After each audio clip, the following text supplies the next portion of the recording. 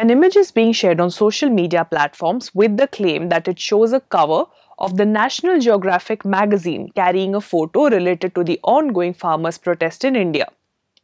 Text on this cover reads, The largest protest in history is happening now and it is not being televised.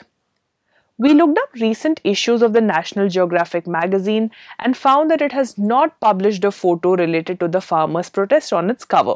Also, we can see that the format of the cover in the posted image is different from the format of the covers of the recent issues.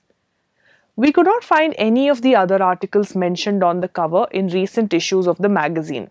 At the bottom right corner of the image in the post, we can see text that says at Anupreet. So we searched for this profile and found the same photo posted by the user on Instagram.